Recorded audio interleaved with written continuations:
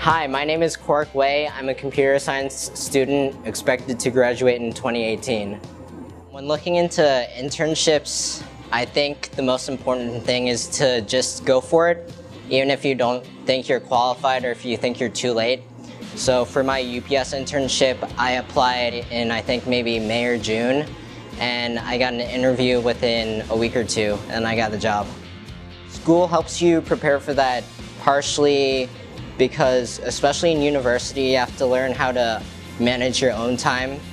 And I think that's a very important thing to have when you're when you join the workforce. So when you start working nine to five.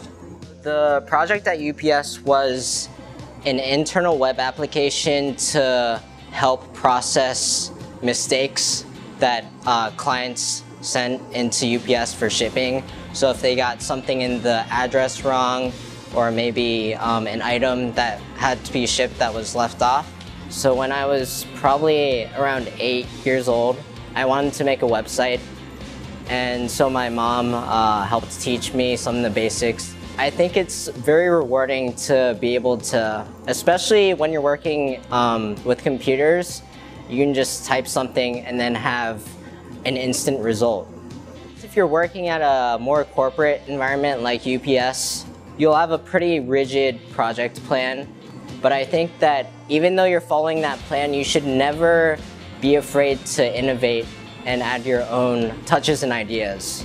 I think that especially as someone who's younger to most of your colleagues working at a corporate environment, you have a unique perspective that you can usually bring to the table.